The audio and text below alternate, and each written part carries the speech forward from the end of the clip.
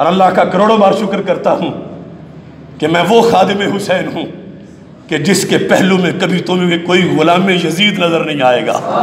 یہ میرے حسینی ہونے کی دلیل ہے کہ یزید کے ساتھ مرنے کی تمنا کرنے والا مجھے گالیاں بار بار دیتا رہا، کیونکہ میں خادم حسین ہوں۔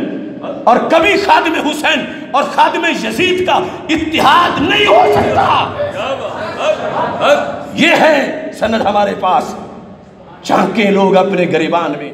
عید و رسالت سانہ دا دنیا میں لگانے نکلے ہیں۔ اللہ